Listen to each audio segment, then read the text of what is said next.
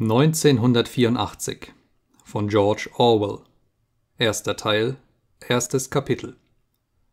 Es war ein klarer, kalter Tag im April, und die Uhren schlugen gerade dreizehn, als Winston Smith, das Kinn an die Brust gepresst, um dem rauen Wind zu entgehen, rasch durch die Glastüren eines der Häuser des Victory-Blocks schlüpfte, wenn auch nicht rasch genug, als dass nicht zugleich mit ihm ein Wirbel griesigen Staubs eingedrungen wäre im Flur roch es nach gekochtem Kohl und feuchten Fußmatten. An der Rückwand war ein grellfarbiges Plakat, das für einen Innenraum eigentlich zu groß war, mit Reißnägeln an der Wand befestigt. Es stellte nur ein riesiges Gesicht von mehr als einem Meter Breite dar. Das Gesicht eines Mannes von etwa 45 Jahren, mit dickem, schwarzem Schnauzbart und ansprechenden, wenn auch derben Zügen. Winston ging die Treppe hinauf es hatte keinen Zweck, es mit dem Aufzug zu versuchen. Sogar zu den günstigsten Stunden des Tages funktionierte er nur selten, und zurzeit war tagsüber der elektrische Strom abgestellt. Das gehörte zu den wirtschaftlichen Maßnahmen der in Vorbereitung befindlichen Hasswoche. Die Wohnung lag sieben Treppen hoch, und der 39-jährige Winston, der über dem rechten Fußknöchel dicke Krampfaderknoten hatte, ging sehr langsam und ruhte sich mehrmals unterwegs aus auf dem Treppenabsatz starrte ihm gegenüber dem Liftschacht das Plakat mit dem riesigen Gesicht an. Es gehörte zu den Bildnissen, die so gemalt sind, dass einen die Augen überall hin verfolgen. Der große Bruder sieht dich an, lautete die Schlagzeile darunter. Drinnen in der Wohnung verlas eine klangvolle Stimme eine Zahlenstatistik über die Roheisenproduktion. Die Stimme kam aus einer länglichen Metallplatte, die einem stumpfen Spiegel ähnelte und rechter Hand in die Wand eingelassen war. Winston drehte an einem Knopf, und die Stimme wurde daraufhin etwas leiser, wenn auch der Wortlaut noch zu verstehen blieb. Der Apparat, ein sogenannter Televisor oder Hörsehschirm, konnte gedämpft werden, doch gab es keine Möglichkeit, ihn völlig abzustellen. Smith trat ans Fenster, eine abgezehrte, gebrechliche Gestalt, deren Magerheit durch den blauen Trainingsanzug der Parteiuniform noch betont wurde. Sein Haar war sehr hell, sein Gesicht unnatürlich gerötet, seine Haut rau von der groben Seife, den stumpfen Rasierklingen und der Kälte des gerade überstandenen Winters. Die Welt draußen sah selbst durch die geschlossenen Fenster kalt aus. Drunten auf der Straße wirbelten schwache Windstöße Staub und Papierfetzen in Spiralen hoch, und obwohl die Sonne strahlte, und der Himmel leuchtend blau war, schien doch alles farblos, außer den überall angebrachten Plakaten. Das Gesicht mit dem schwarzen Schnurrbart blickte von jeder beherrschenden Ecke herunter. Ein Plakat klebte an der unmittelbar gegenüberliegenden Hausfront. Der große Bruder sieht dich, hieß auch hier die Unterschrift, und die dunklen Augen bohrten sich tief in Winstons Blick. Drunten in Straßenhöhe flatterte ein anderes, an einer Ecke eingerissenes Plakat unruhig im Winde und ließ nur das Wort Engsotz bald verdeckt, bald unverdeckt erscheinen. In der Ferne glitt ein Helikopter zwischen den Dächern herunter, brummte einen Augenblick wie eine Schmeißfliege und strich dann in einem Bogen wieder ab. Es war die Polizeistreife, die den Leuten in die Fenster schaute. Die Streife war jedoch nicht schlimm. Zu fürchten war nur die Gedankenpolizei. Hinter Winstons Rücken schwatzte die leise Stimme aus dem Televisor noch immer von Roheisen und von der weit über das gesteckte Ziel hinausgehenden Erfüllung des neunten Dreijahresplans. Der Televisor war gleichzeitig Empfangs und Sendegerät. Jedes von Winston verursachte Geräusch, das über ein ganz leises Flüstern hinausging, wurde von ihm registriert. Außerdem konnte Winston, solange er in dem von der Metallplatte beherrschten Sichtfeld blieb, nicht nur gehört, sondern auch gesehen werden es bestand natürlich keine Möglichkeit festzustellen, ob man in einem gegebenen Augenblick gerade überwacht wurde. Wie oft und nach welchem System die Gedankenpolizei sich in einen Privatapparat einschaltete, blieb der Mutmaßung überlassen. Es war sogar möglich, dass jeder Einzelne ständig überwacht wurde. Auf alle Fälle aber konnte sie sich, wenn sie es wollte, jederzeit in einen Apparat einschalten. Man musste in der Annahme leben, und man stellte sich tatsächlich instinktiv darauf ein, dass jedes Geräusch, das man machte, überhört und, außer in der Dunkelheit, jede Bewegung beobachtet wurde. Winston richtete es so ein, dass er dem Televisor den Rücken zuwandte. Das war sicherer, wenn auch, wie er wohl wusste, sogar ein Rücken verräterisch sein konnte. Einen Kilometer entfernt ragte das Wahrheitsministerium, seine Arbeitsstätte, wuchtig und weiß über der düsteren Landschaft empor. Das also, dachte er mit einer Art undeutlichen Abscheus, war London, die Hauptstadt des Luftstützpunkts Nummer 1, der am drittstärksten bevölkerten Provinz Ozeaniens. Er versuchte, in seinen Kindheitserinnerungen nachzuforschen, ob London immer so ausgesehen hatte.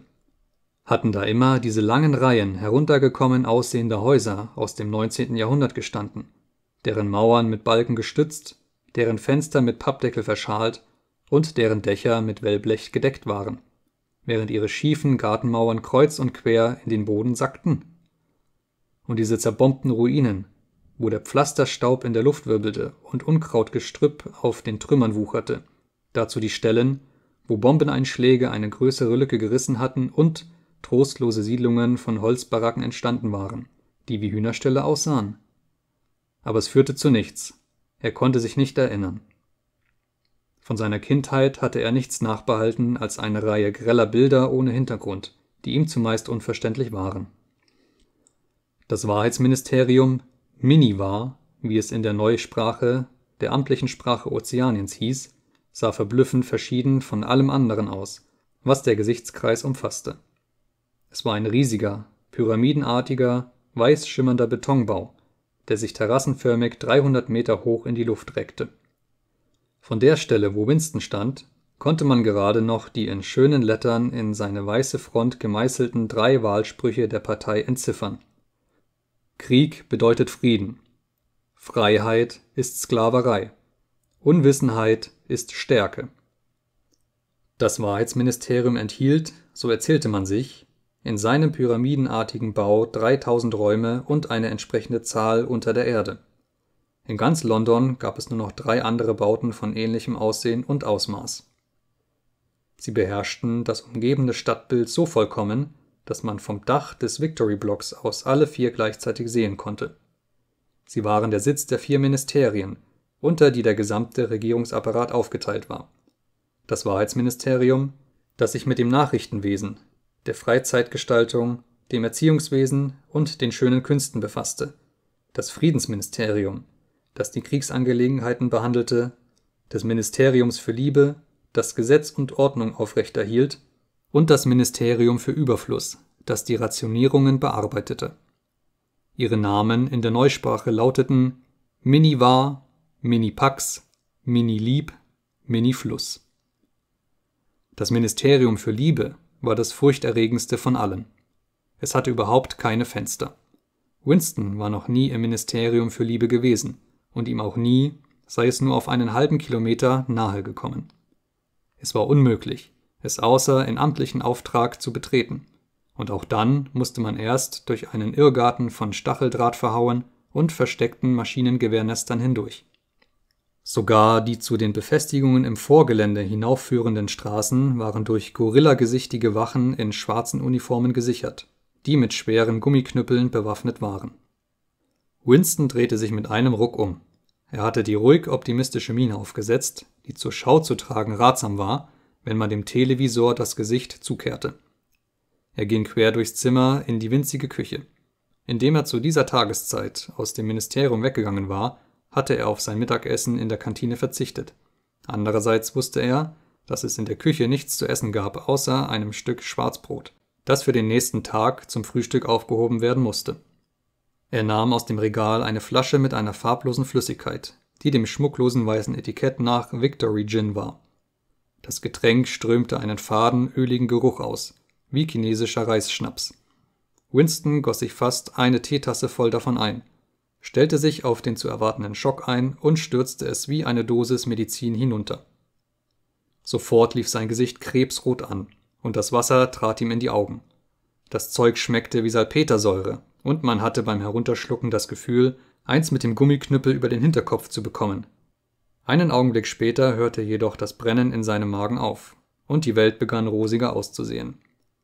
Er zog eine Zigarette aus einem zerknitterten Päckchen mit der Aufschrift Victory Zigaretten doch unvorsichtigerweise hielt er sie senkrecht, worauf der Tabak heraus auf den Fußboden rieselte. Mit der nächsten hatte er mehr Glück. Er ging ins Wohnzimmer zurück und setzte sich an ein links vom Televisor stehendes Tischchen. Dann zog er aus der Tischschublade einen Federhalter, eine Tintenflasche und ein dickes, unbeschriebenes Diarium in Quartformat mit rotem Rücken und marmorierten Einbanddeckeln hervor. Aus irgendeinem Grunde war der Televisor in seinem Wohnzimmer an einer ungewöhnlichen Stelle angebracht. Statt wie üblich an der kürzeren Wand, von wo aus er den ganzen Raum beherrscht hätte, war er an der Längswand gegenüber dem Fenster eingelassen. An seiner einen Seite befand sich die kleine Nische, in der Winston jetzt saß und die vermutlich beim Bau der Wohnung für ein Bücherregal bestimmt gewesen war. Wenn er sich so in die Nische setzte und vorsichtig im Hintergrund hielt, konnte Winston, wenigstens visuell, außer Reichweite des Televisors bleiben. Er konnte zwar gehört, aber, solange er in seiner Stellung verharrte, nicht gesehen werden. Die ungewöhnliche Anlage des Zimmers war zum Teil für den Gedanken verantwortlich, zu dessen Verwirklichung er jetzt schritt. Doch auch das Diarium, das er soeben aus der Schublade hervorgezogen hatte, war mit daran schuld. Es war ein ganz besonders schönes Diarium. Sein milchweißes Papier, schon ein wenig vergilbt, war von einer Qualität, wie sie seit wenigstens 40 Jahren nicht mehr hergestellt worden war. Er hatte jedoch Grund zu der Annahme, dass das Buch noch weit älter war. Er hatte es in der Auslage eines muffigen kleinen Altwarengeschäftes in einem der Elendsviertel der Stadt, in welchem Viertel hätte er jetzt nicht mehr sagen können, liegen gesehen und war sofort von dem brennenden Wunsch beseelt worden, es zu besitzen.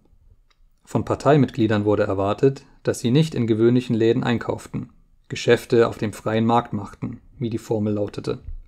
Aber die Vorschrift wurde nicht streng eingehalten, denn es gab verschiedene Dinge wie Schuhbänder oder Rasierklingen, die man sich unmöglich auf andere Weise beschaffen konnte. Er hatte einen raschen Blick die Straße hinauf und hinunter geworfen.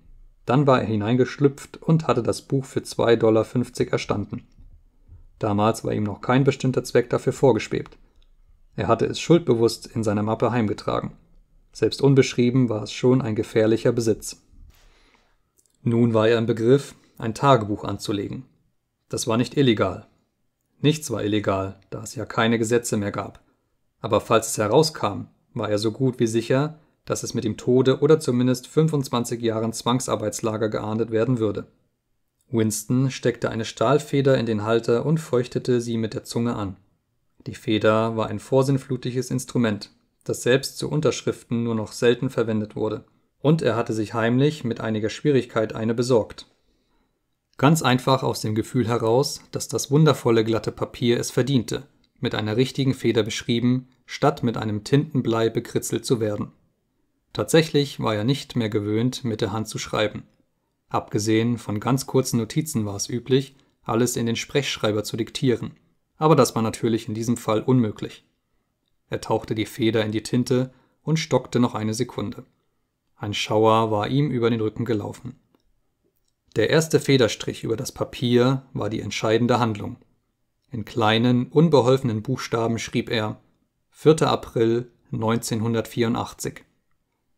Er lehnte sich zurück. Ein Gefühl völliger Hilflosigkeit hatte sich seiner bemächtigt. Zunächst einmal war er sich durchaus nicht sicher, dass jetzt wirklich das Jahr 1984 war. Es musste um diese Zeit herum sein, denn er wusste mit einiger Gewissheit, dass er selbst 39 Jahre alt war und er glaubte, 1944 oder 1945 geboren zu sein. Doch heutzutage war es nie möglich, ein Datum auf ein oder zwei Jahre genau zu bestimmen. Für wen, fragte er sich plötzlich, legte er dieses Tagebuch an?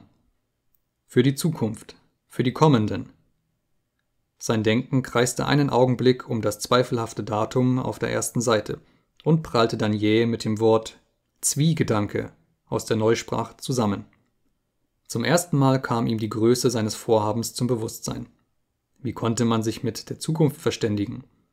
Das war ihrer Natur nach unmöglich. Entweder ähnelte die Zukunft der Gegenwart, dann würde man ihm nicht Gehör schenken wollen, oder sie war anders geartet, dann war seine Darstellung bedeutungslos. Eine Zeit lang saß er da und starrte töricht auf das Papier. Der Televisor hatte jetzt schmetternde Militärmusik angestimmt. Es war seltsam, dass er nicht nur die Gabe der Mitteilung verloren, sondern sogar vergessen zu haben schien, was er ursprünglich hatte sagen wollen. Seit Wochen hatte er sich auf diesen Augenblick vorbereitet, und es war ihm noch nie in den Sinn gekommen, dass dazu noch etwas anderes nötig sein könnte als Mut. Die Niederschrift als solche hatte er für leicht gehalten. Brauchte er doch nichts weiter zu tun, als die endlosen, hastigen Selbstgespräche zu Papier zu bringen, die ihm buchstäblich seit Jahren durch den Kopf geschossen waren. In diesem Augenblick jedoch war sogar das Selbstgespräch verstummt. Außerdem hatte das Ekzem an seinen Krampfadern unerträglich zu jucken angefangen. Er wagte nicht daran zu kratzen, denn dann entzündete es sich immer. Die Sekunden verstrichen. Nichts drang in sein Bewusstsein als die unbeschriebene Weiße des vor ihm liegenden Blattes, das Hautjucken über seinem Knöchel, die schmetternde Musik und eine leise Benebeltheit, die der Gin verursacht hatte. Plötzlich begann er überstürzt zu schreiben, ohne recht zu wissen, was er zu Papier brachte. Seine kleine, kindliche Handschrift bedeckte Zeile um Zeile des Blattes, wobei er bald auf die großen Anfangsbuchstaben und zum Schluss sogar auf die Interpunktion verzichtete. 4. April 1984. Gestern Abend im Kino. Lauter Kriegsfilme. Ein sehr guter über ein Schiff voll Flüchtlingen, das irgendwo im Mittelmeer bombardiert wird. Zuschauer höchst belustigt durch eine Aufnahme von einem großen, dicken Mann, den ein Helikopter verfolgt. Zuerst sah man ihn sich durchs Wasser wälzen wie ein Nilpferd. Dann sah man ihn durch das Zielfernrohr des Hubschraubers. Dann war er ganz durchlöchert und das Meer rund um ihn färbte sich rosa und er versank so plötzlich, als sei das Wasser durch die Löcher eingedrungen. Zuschauer brüllten vor Lachen, als er unterging. Dann sah man ein Rettungsboot voll Kinder mit einem Hubschrauber darüber. Eine Frau mittleren Alters, vielleicht eine Jüdin, saß mit einem etwa drei Jahre alten Knaben im Bug. Kleiner Junge brüllte vor Angst und verbarg seinen Kopf zwischen den Brüsten, als wollte er ganz in sie hineinkriechen. Und die Frau legte die Arme um ihn und tröstete ihn.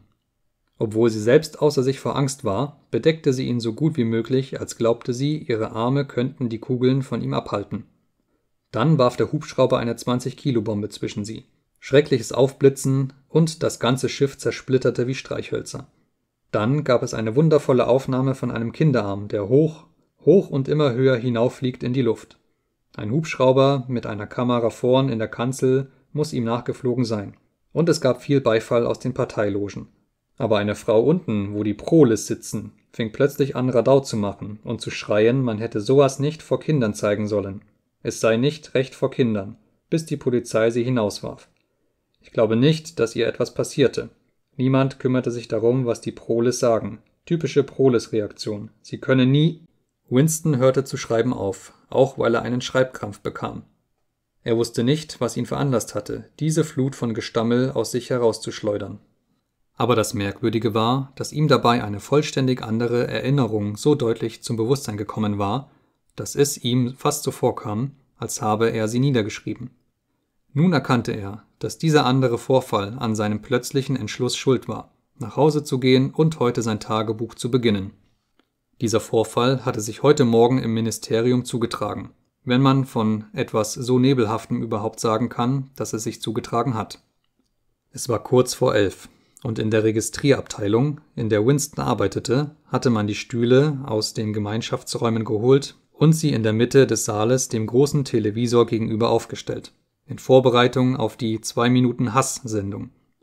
Winston nahm gerade seinen Platz in einer der Mittelreihen ein, als zwei Personen, die er vom Sehen kannte, mit denen er aber noch nie ein Wort gewechselt hatte, unerwartet in den Raum traten.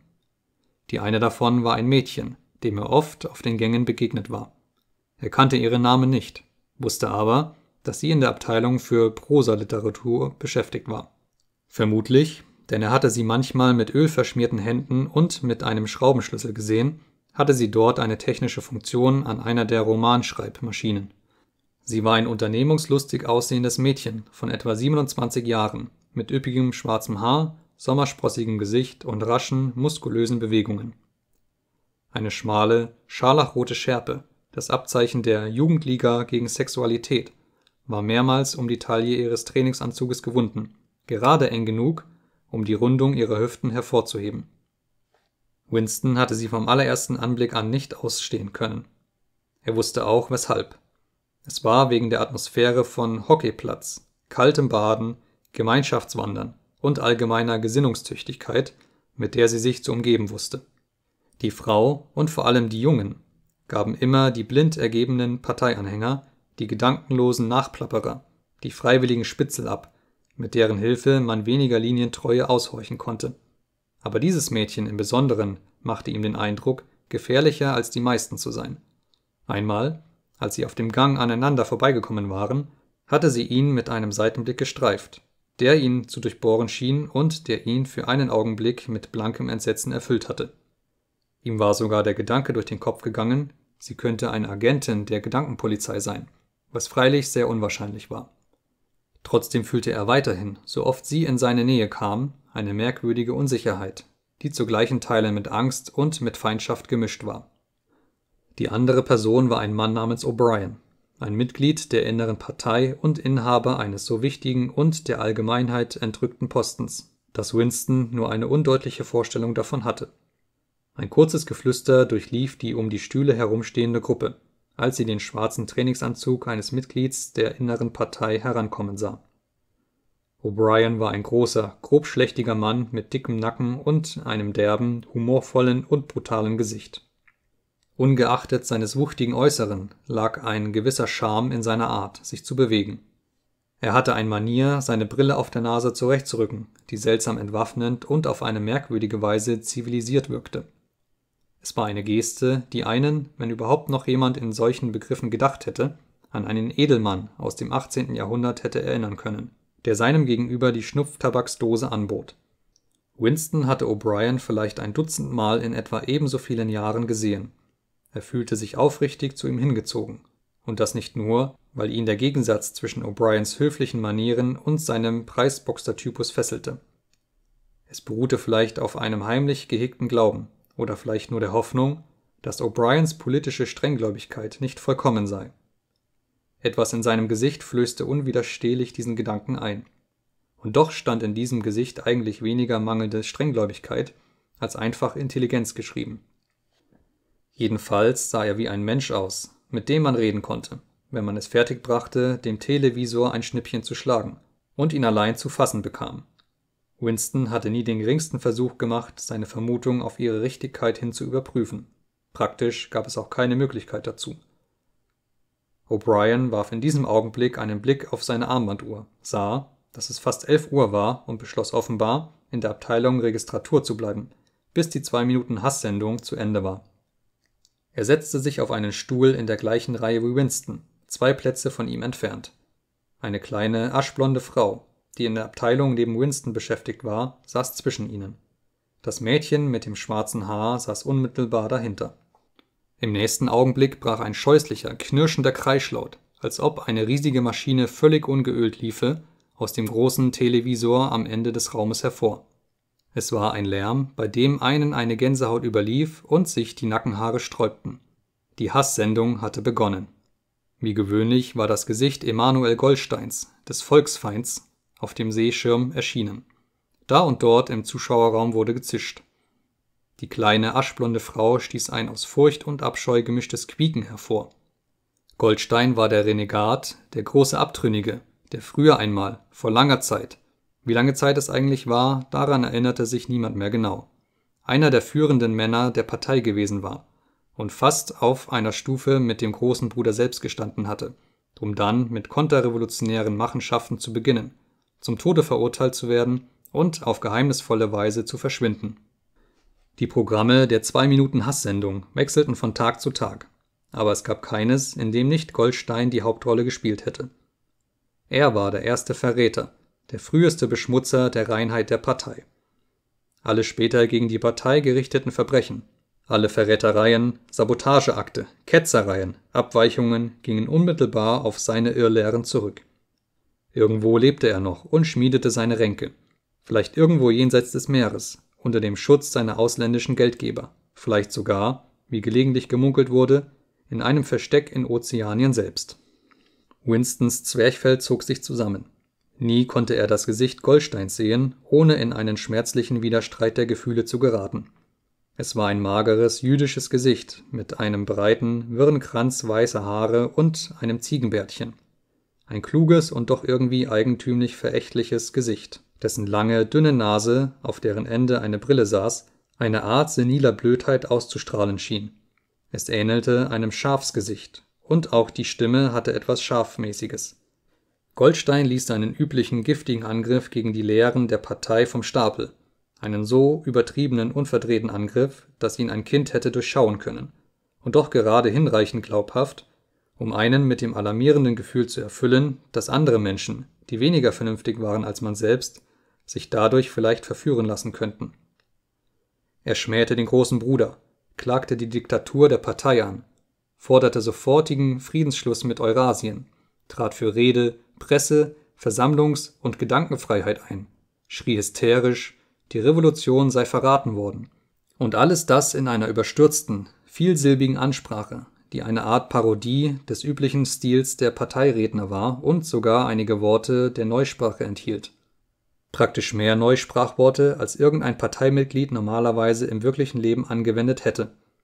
Und die ganze Zeit marschierten, für den Fall, dass man noch im geringsten Zweifel sein könnte, was sich in Wahrheit hinter Goldsteins widerlicher Phrasendrescherei verbarg, hinter seinem Kopf auf dem Schirm des Televisors die endlosen Kolonnen der Eurasischen Armee vorbei endlose Reihen kräftig aussehender Männer mit ausdruckslosen asiatischen Gesichtern, die an die Oberfläche des Seeschirms heranbrandeten und wieder zerflossen, um von anderen, genau gleichen, abgelöst zu werden.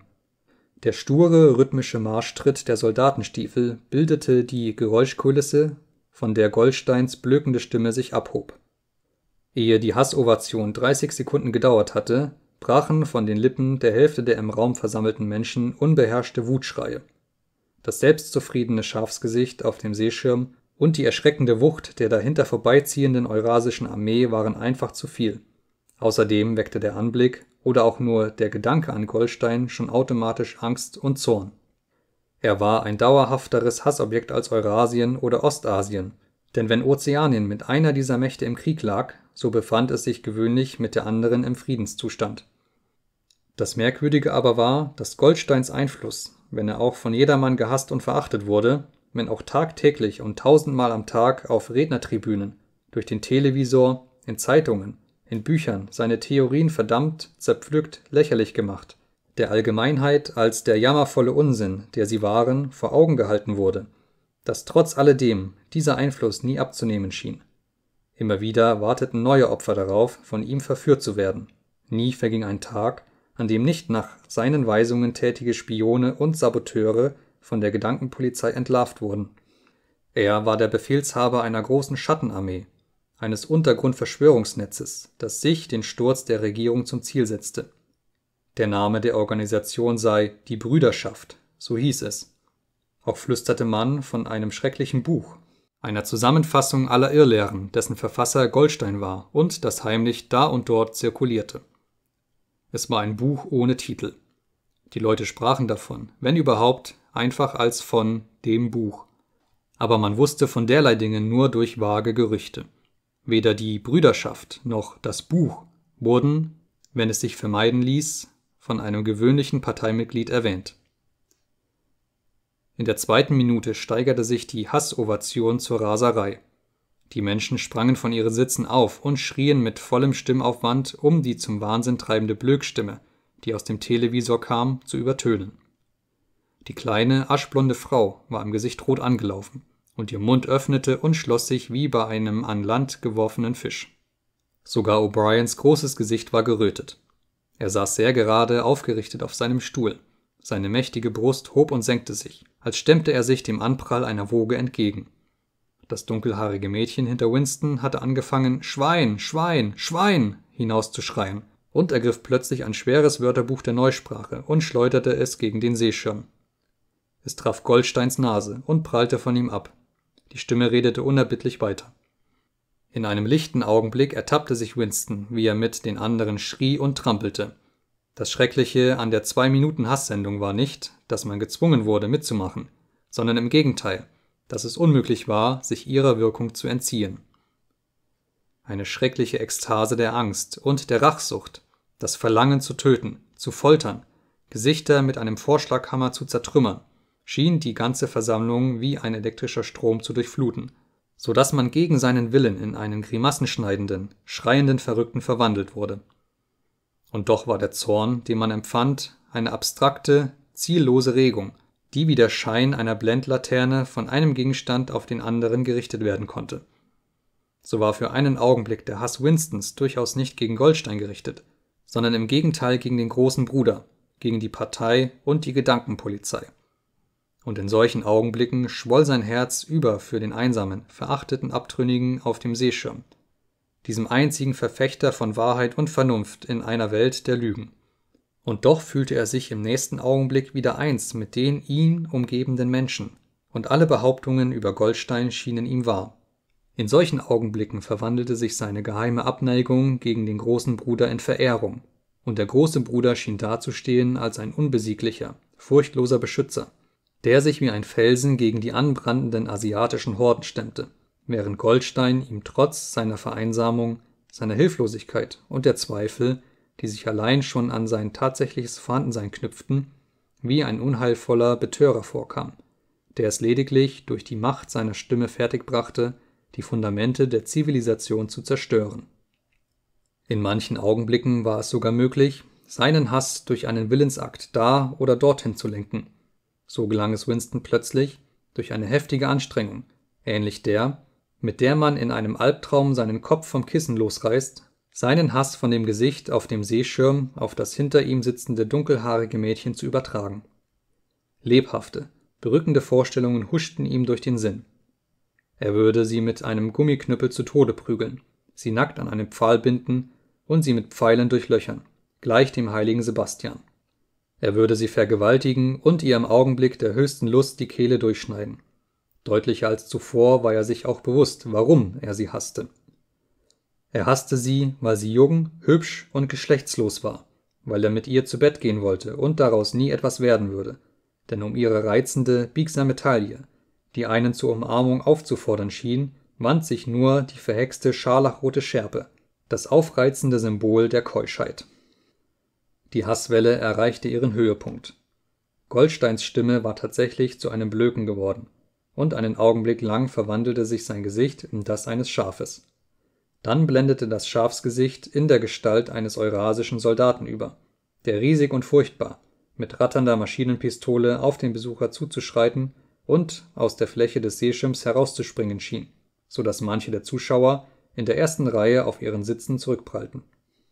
Aber im gleichen Augenblick, während jedem Munde ein tiefer Seufzer der Erleichterung entfuhr, zerschmolz die feindliche Gestalt in das Gesicht des großen Bruders mit seinen dunklen Haaren und seinem Schnurrbart, das Macht und geheimnisvolle Ruhe ausstrahlte und mit seiner riesigen Größe fast den ganzen Seeschirm ausfüllte. Niemand verstand, was der große Bruder sagte. Es waren nur ein paar Worte der Ermutigung, Worte, wie sie im Kampflärm einer Schlacht ausgestoßen werden, nicht im Einzelnen unterscheidbar, die aber einfach dadurch, dass sie ausgesprochen werden, die Zuversicht wiederherstellen. Dann zerrann das Gesicht des großen Bruders wieder, und statt seiner erschienen in klaren großen Buchstaben die drei Parteiwahlsprüche. Krieg bedeutet Frieden. Freiheit ist Sklaverei. Unwissenheit ist Stärke. Aber das Gesicht des großen Bruders schien sich noch einige Sekunden auf dem Seeschirm zu behaupten, so als sei der Eindruck, den es auf der Netzhaut aller Zuschauer hervorgebracht hatte, zu lebhaft, um sogleich zu verlöschen. Die kleine, aschblonde Frau hatte sich über die Lehne des vor ihr stehenden Stuhls nach vorne geworfen. Mit einem bebenden Flüstern, das wie Mein Retter klang, breitete sie die Arme dem Seeschirm entgegen. Dann barg sie ihr Gesicht in den Händen. Offensichtlich sprach sie ein Gebet. Jetzt stimmten alle Versammelten einen klangvollen, langsamen und rhythmischen Sprechchor an. G, B, G, B, G, B. Wieder und immer wieder, sehr langsam, mit einer langen Pause zwischen dem ersten G und dem zweiten B, in einem feierlichen, murmelnden, seltsam ungestüm wirkenden Ton, so dass man als Begleitung das Stampfen nackter Füße und das dumpfe Dröhnen von Tamtams zu hören glaubte. Vielleicht 30 Sekunden lang fuhren sie damit fort. Es war ein Refrain, den man oft in Augenblicken überwältigender Erregung hörte. Zum Teil war es eine Art Hymne auf die Weisheit und Majestät des großen Bruders, mehr aber noch ein Akt der Selbsthypnose, ein absichtliches Übertönen des Bewusstseins durch das Mittel rhythmischen Lärms. Winston fühlte eine Kälte in seinen Eingeweiden. Während der zwei Minuten Hasssendung konnte er nicht umhin, gleichfalls dem allgemeinen Delirium anheimzufallen. Aber dieser unmenschliche Singsang G, B, G, B erfüllte ihn immer mit Abscheu. Natürlich stand er den übrigen nicht nach, etwas anderes wäre unmöglich gewesen. Seine Gefühle zu verschleiern, sein Gesicht zu beherrschen, zu tun, was jeder tat, gebot schon der Instinkt. Aber es gab eine Zeitspanne von einigen Sekunden, in der ihn der Ausdruck seiner Augen in bedenklicher Weise hätte verraten können. Und genau in diesem Augenblick ereignete sich das Bedeutsame, wenn es sich wirklich ereignete. Er fing flüchtig O'Briens Blick auf. O'Brien war aufgestanden. Er hatte seine Brille abgenommen und war gerade im Begriff, sie wieder mit seiner charakteristischen Geste aufzusetzen. Aber dazwischen lag der Bruchteil einer Sekunde, währenddessen sich ihre Augen begegneten. Und in diesem winzigen Zeitraum wusste Winston, ja, er wusste es, dass O'Brien das gleiche dachte wie er. Eine unmissverständliche Botschaft war zwischen ihnen ausgetauscht worden. Es war, als hätten ihre beiden Denkwelten sich aufgetan und als strömten durch ihre Augen die Gedanken von dem einen in den anderen über. Ich halte es mit dir, schien O'Brien zu ihm zu sagen. Ich weiß genau, was in dir vorgeht. Ich kenne deine ganze Verachtung, deinen Hass, deinen Abscheu. Aber hab keine Angst, ich stehe auf deiner Seite. Dann war der Blitz des Einverständnisses erloschen, und O'Briens Gesicht war ebenso undurchdringlich wie das aller anderen. Das war alles gewesen, und er war schon nicht mehr sicher, ob es sich wirklich zugetragen hatte. Derartige Zwischenfälle hatten nie eine Fortsetzung. Sie hielten lediglich den Glauben oder die Hoffnung in ihm lebendig, dass es außer ihm noch andere Feinde der Partei gab. Vielleicht waren die Gerüchte von großen Untergrundverschwörungen doch wahr. Vielleicht existierte die Brüderschaft wirklich. Trotz der endlosen Verhaftungen, Geständnisse und Hinrichtungen konnte man nie sicher sein dass die Bruderschaft nicht lediglich eine sagenhafte Erfindung war. An manchen Tagen glaubte er daran, an anderen nicht. Es gab keinen greifbaren Beweis, nur flüchtige Andeutungen, die alles oder nichts bedeuten konnten. Bruchstücke erlauschter Gespräche, verwischte Aufschriften an Abbordwänden. Oder einmal, wenn zwei Freunde sich trafen, eine kleine Bewegung der Hände, die einem Verständigungszeichen ähnlich sah. Alles war nur Mutmaßung.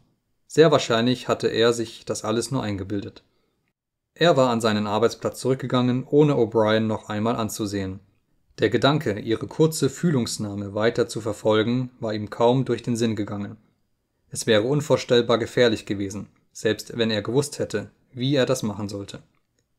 Eine oder zwei Sekunden lang hatten sie einen zweideutigen Blick getauscht. Und damit Schluss. Aber sogar das war ein denkwürdiger Augenblick in der abgeschlossenen Einsamkeit – in der man zu leben gezwungen war. Winston rappelte sich hoch und setzte sich gerade. Er musste rülpsen. Der Gin rumorte in seinem Magen. Sein Blick richtete sich wieder auf das Blatt. Er entdeckte, dass er, während er in hilflosem Grübeln dagesessen, gleichzeitig automatisch weitergeschrieben hatte. Und zwar war es nicht mehr die gleiche, verkrampfte Handschrift von vorhin. Seine Feder war beschwingt über das glatte Papier geglitten und hatte in großer, klarer Blockschrift hingemalt Nieder mit dem großen Bruder, nieder mit dem großen Bruder, nieder mit dem großen Bruder. Immer wieder, fast über eine halbe Seite weg. Unwillkürlich durchzuckte ihn ein furchtbarer Schrecken. Das war im Grunde töricht, denn das Niederschreiben gerade dieser Worte war nicht gefährlicher als der erste Schritt, ein Tagebuch anzulegen. Und doch fühlte er sich einen Augenblick lang versucht, die beschriebenen Seiten herauszureißen und die ganze Sache aufzugeben.